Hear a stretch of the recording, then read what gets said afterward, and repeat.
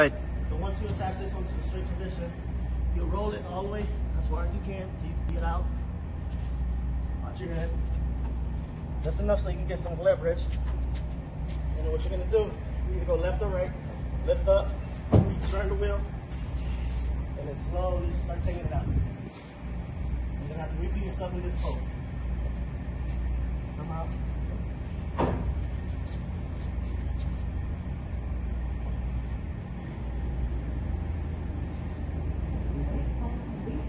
There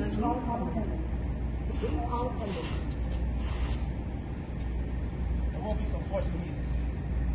Pull it back out.